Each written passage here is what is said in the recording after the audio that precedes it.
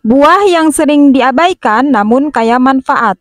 Hai ayah bunda, ini manfaat buah ciplukan atau cecenet.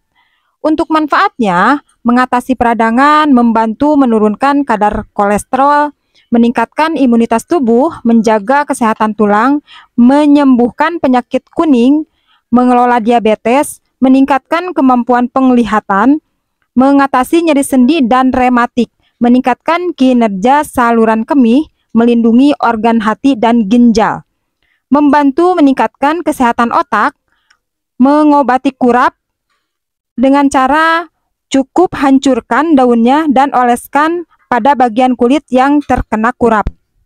Menghilangkan kuning pada newborn atau bayi baru lahir dengan cara menjemur buahnya sampai kering, kemudian campurkan buah yang kering dengan air dan gunakan untuk memandikan bayi baru lahir. Sebagai penambah darah, caranya masak batang dari buah lalu minum airnya.